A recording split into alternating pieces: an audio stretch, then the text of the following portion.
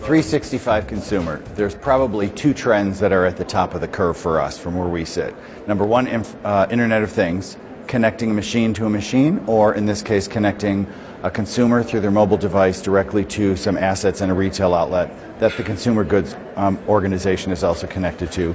Inside the retail outlet, we're finding solutions such as connected um, shelving, uh, digital price tags, and whatnot that don't require manual um, stacking and, or manual intervention in order to keep current with where the consumer demands are or what the inventory supply is.